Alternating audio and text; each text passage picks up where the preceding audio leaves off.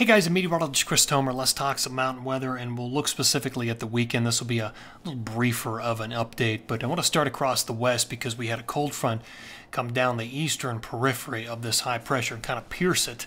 And there's another one coming for the 24th, 25th uh, in Montana, Wyoming, which is what you're looking at right here up in Jackson Hole, um, down through parts of uh, Colorado. And it may, may, may clip um, the Wasatch 24 25, but then it'll roll down into northern New Mexico. But anyway, this is the view up at uh, Jackson Hole right now, six inches overnight.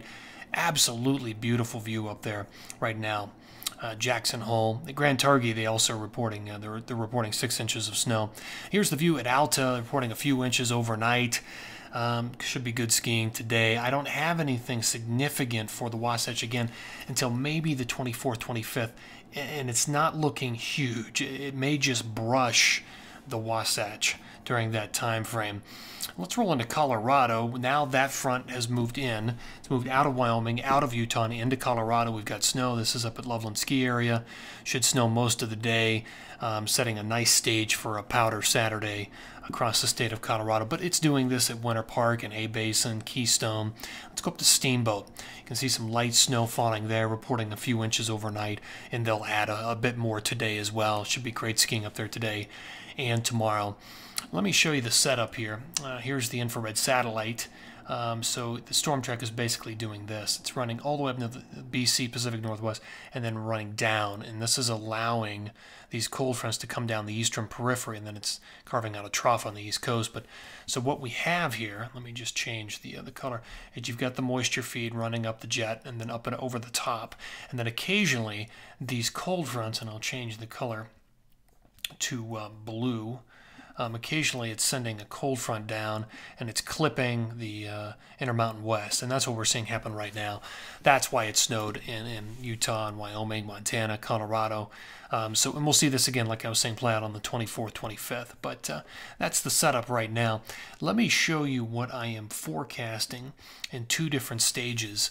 So all of today through the 23rd, and, and again, snowing in Colorado right now, so we'll add another two to four in a lot of these uh, ski areas from Wolf Creek to Silverton, um, all the way up to the I-70 corridor, Snowmass, Vail, Summit County, the tunnel.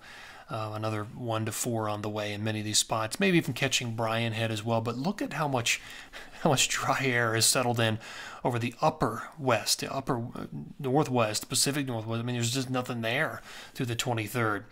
Let's look down the road. Okay, so this is the 24th through the 30th. So basically the end of the month. And the other front on the 24th, 25th basically just brushes Montana, Wyoming. And again, it's questionable as to whether it even reaches um, Utah's Wasatch or not. But then it rolls into Colorado and northern New Mexico with two to five inches as it looks at this point. Again, kind of favoring the front range high peaks of Colorado, the central and northern mountains. Um, and then the Pacific Northwest. And, and this is something that happens late in the month 29, 30, 31. Look at the snow at Shasta and Heavenly.